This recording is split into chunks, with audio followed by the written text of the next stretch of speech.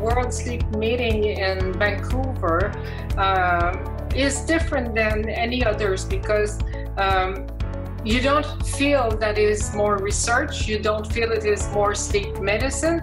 What you feel is that it's two fields coming together. You know, and it's and because you have so many specialists, so many brains together, you know, sharing their different idea, this is where you see the most multidisciplinary interactions. And this is great. This really enhances anybody's, you know, uh, uh, research track or field.